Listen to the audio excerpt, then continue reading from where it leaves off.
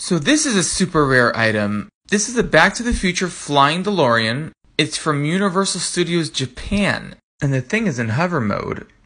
And it has this feature that when you grind it against a table, this area right here sparks.